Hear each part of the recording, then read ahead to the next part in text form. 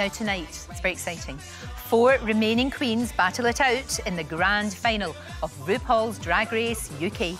Bang Bang Bong Drag Race UK finalist Lawrence Chaney and Ellie Diamond join me now. Let's Kiki, I am so excited to talk to you both. I really am. Congratulations, first of all, for getting in the final and, and you know, looking so beautiful.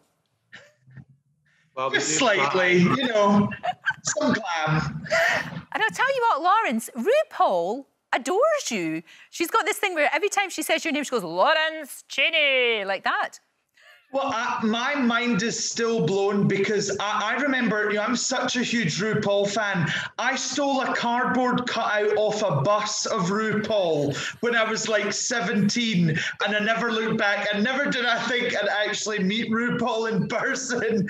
Um, so it's a very bizarre full circle moment, and I love uh, now in supermarkets, everyone just shouts at me, Lawrence Chaney. I think they probably will. I think they probably will. Ellie, of course, we did the whole kind of morning glory thing where I came along as a judge and I, and I sort of, well, I basically just laughed. I thought you were hilarious. And you had to do a sort of show, which was incredible. It really was. And you are only a baby. You were 21 when all of this process started. You just turned 22. Yeah, we were filming the show. I was 21. I was the youngest one that's on the team, certainly. But um, we made it to the top four. No badges, but that's okay.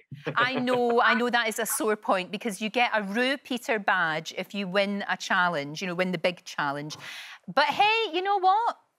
You might win the ultimate one. Who knows? Nobody knows because you guys don't know. You, you have no idea what's what's going to happen. I mean, you, you we, we just don't know. This is the thing. Your makeup is exquisite, both of you, absolutely gorgeous. Is this? I mean, Ellie, especially for you, you really paint your face. It's yeah. It's, it's I mean, you look nothing like yourself. You know, really I like I like having that, the. But on that first, you know, on that first show where we actually see you as fellas, you never, you what? it's just, it's quite remarkable. I mean, is that self-taught, Ellie? Do you did you just manage to do that all by yourself?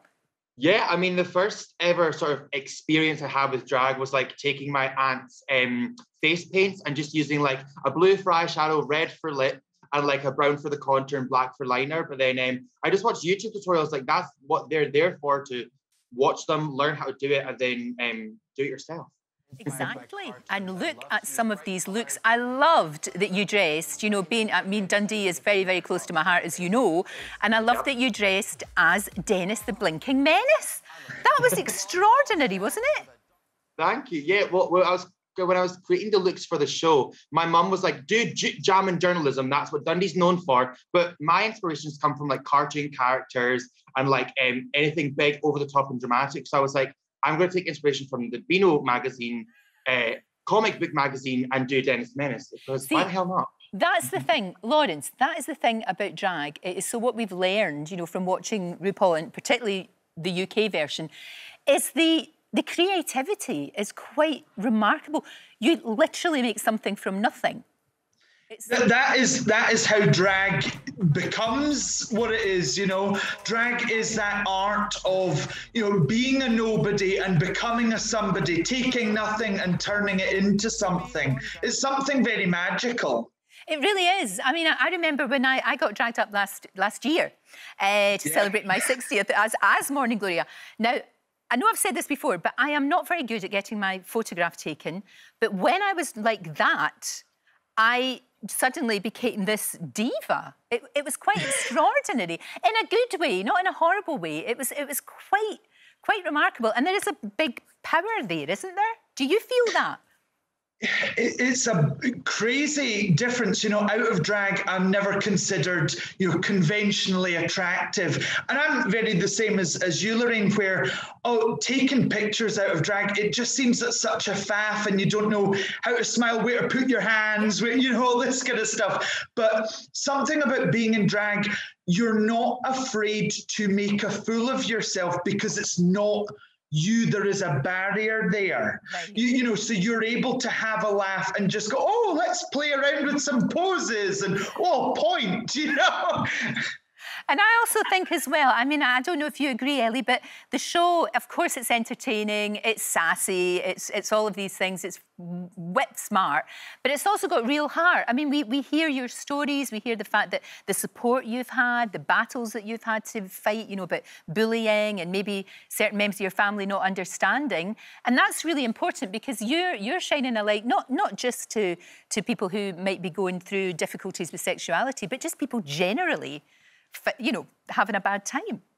Yeah, literally. Well, that that's the magic of the show. Like you get you get to go on there and you get to use that platform to share your stories, share your experiences, in hope that someone out there that is watching you on TV resonates with that and goes, well, if they can do it, so can I. You know. Well, the thing is about you two, you've really put the spotlight, particularly on drag in, in Scotland. I mean, I'm sure you will. You know that there'll be there'll be little guys sitting there, little boys will be sitting there thinking, do you know what? I'd love to do that. And you the way that RuPaul's inspired you to, you'll be inspired in everyone else, and that's fantastic, isn't it? Definitely. Bizarre full circle moment. That that is that is crazy to think of. You know. It's it's just brilliant. Now look, are you up for this? Because I'm going to put you two to the test. Never mind the big final tonight. This is the real test, right? It's in our okay. game. Oh, no. Are you ready? Now, look, yeah. the rules of which Queen's speech, you have to guess which Queen gave these words of wisdom. Now, it can be Queen of Drag RuPaul, Queen of Music Beyonce, the actual Queen, or me. Good luck and don't forget the rules. Okay. Ellie, here's the yeah. quote.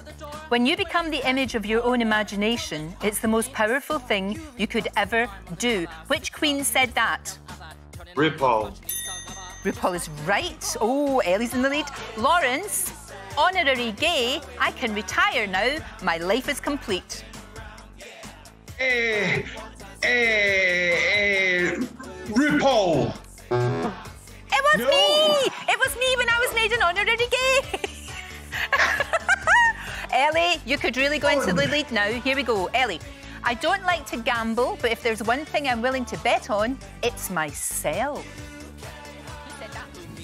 Uh, Beyonce. Oh, you know your queens. You know your queens. Lawrence. Lawrence, you have to get this right. For the glory of Glasgow. The pressure is on. Oh my, jeez. Who said this? For me, heaven is likely to be a bit of a come down. RuPaul? you can't just keep saying RuPaul for everything. It was Her Majesty, the Queen. Ellie, Dundee has it. Dundee has I mean, it. Absolutely, I mean, it does. You two have entertained us in such a brilliant way. I've loved every minute of the show. I was honoured to be part of it. I really was. And I can't wait to see what both of you are going to do next.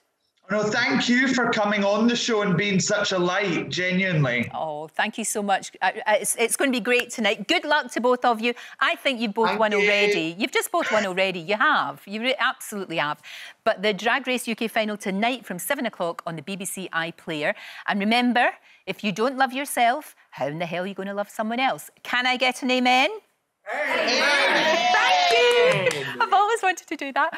Don't forget, you can watch full episodes of Lorraine on the ITV Hub and all the best clips, compilations and playlists right here on our channel. Just subscribe now and you'll never miss an upload. Click here to watch another video similar to this one or click here to head to our channel's homepage to explore all of our exciting videos.